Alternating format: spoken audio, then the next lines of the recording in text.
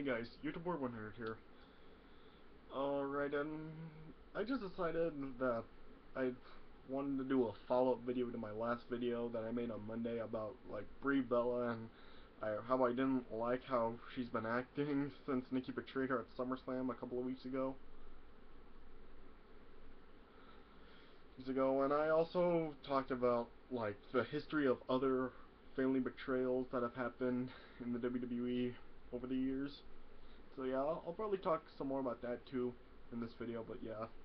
I'm just gonna like give some more thoughts on what I thought of how I think about how Brie is acting. Alright. So yeah, there, someone left a comment on my video saying that they're just like, this is just like building up till on uh, till when eventually Brie will finally snap and go after Nikki. Nikki, and they've just like been building it up or whatever. Okay.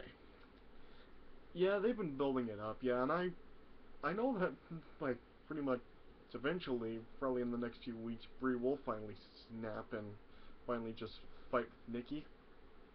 But seriously, I mean, if, don't you remember, like, back in, like, 2000 and, like, when was it, 2010, 2011?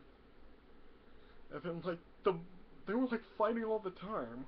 They were actually, like, physically fighting each other. Each other, right?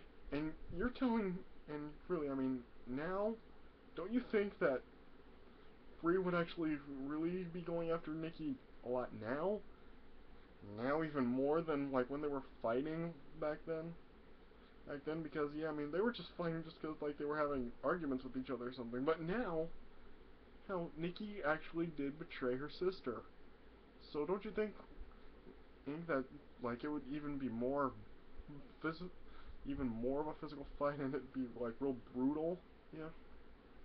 Yeah, I mean, this is what should have happened like the night after SummerSlam. Um, I mean, yeah, on Raw, during the segment with Stephanie and Nikki, Brie should just came out there, and just totally like beat the crap out of Nikki, alright? I mean she should have actually came down looking for a fight, alright? And yeah, and yeah, like I've said before, Brie should just not be like crying about it. Uh, like when Nikki slapped her and said that she could never forgive her for and Brie was just walking to the back crying. And then what happened this past Monday? Yeah, Brie just refused to like fight Nikki, and she just let Nikki attack her like that. I mean, yeah, I mean, if, like I said, if they were fighting as much as they were back in like 2010, 2011, then they really, then I really think that they should, it should be like way brutal for what Nikki did to Brie at SummerSlam. Slam, alright. And so, yeah, I mean, yeah. So, yeah, Brie shouldn't be like crying about it and being all hurt that her sisters betrayed her.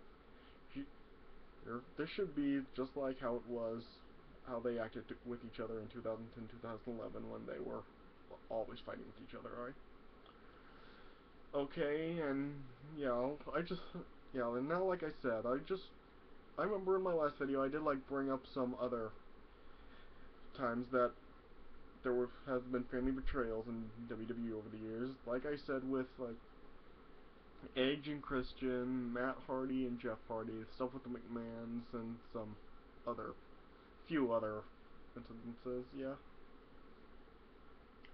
Yeah, there were some that I didn't explain, which I just feel like I should mention a little bit in this video, alright? So yeah, there was that. And I couldn't believe I didn't bring this up in my last video when Owen Hart turned on Bret Hart in 1994. I mean, I really cannot believe I did not mention this in my last video. I mean, yeah, I mean, after Owen and Bret lost that tag team title match at the Royal Rumble, Rumble, Owen Hart turned heel and turned on Bret and kicked him in the knee, and they had like a year-long rivalry. Rivalry, and not once did Bret Hart like say like he he like, was forgiving Owen for that. At least I don't remember him saying that. Or, like, he wasn't gonna fight Owen at all. Yeah, Bret was actually will wanting to face Owen, and that's what they did. They faced each other at WrestleMania 10, and and Owen became the, the king of the ring. Ring at well, the king of the ring with the help of Jim Anvil Neidhart, and yeah. And then at SummerSlam, um, they faced each other again in the cage match for the WWE Championship, and then Owen then cost Bret the WWE title at Survivor Series in the match against Bob Backlund. Backlund, and not once, not once during that feud did Bret like refuse to face Owen or anything. All right, Bret was actually looking for a fight.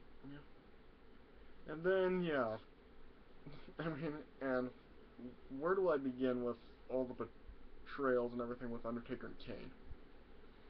Now, this could like kind of be like similar to the stuff with Brie and Nikki, like during the WrestleMania 14 challenge when Kane wanted to face Undertaker, Undertaker refused, but he eventually did agree. To it after the casket it segment at the Royal Rumble where Undertaker was burned, and then yeah, he, that's it took that for him to agree to face Kane at WrestleMania. But yeah, yeah. But after that, Undertaker really was. He never did refuse to face Kane ever. I mean, and all the betrayals. I mean, the betrayal in 1998. I mean, yeah, the betrayal in 2010 by both Kane and Paul Bearer to the Undertaker. Yeah, and even like Paul Bearer, who's Kane's father. Paul Bearer has turned on Kane also. Also, and yeah, you didn't see Kane like being like the a prima donna or anything. About it, I mean, Kane still was going after Undertaker and Paul Bearer. And I guess there's really no point in there's really no reason to like talk about like Lita's betrayal against Kane when Lita was Lita and Kane were married because yeah that was all just yeah they weren't real family so yeah no need to really talk about that. And uh, let's see, is there any other, is there any other family betrayals that I didn't mention before in my last video? Um, let's see. Okay, yeah, I really don't think that there are any more family betrayals I can think of right now because I don't remember things like maybe I don't remember ever any three Hollies ever betraying each other. I mean, yeah, with Hardcore Holly, Crash Holly, and Molly Holly, yeah, I don't remember any betrayals that went on between them. Dudley Boyz, it wasn't really a, well, with Spike it kind of was a betrayal, but yeah, that wasn't really like anything. Yeah, Devon and Bubba were really the two more yeah, people think of them more when they think of the Dudley Boyz. They don't really think of Spike very as much as they do Bubba Ray and Devon when they hear the Dudley Boyz. So, yeah. And, uh, yeah, that's pretty much all I really can say about the other family betrayals. So, yeah, alright. So, anyway, yeah, that's just more thoughts I have on the how Brie's been acting with Nikki and some other family betrayals that have happened in wrestling over the years. So, yeah, hope you guys enjoyed the video. So, yeah, thanks for watching, and I'll see you guys later.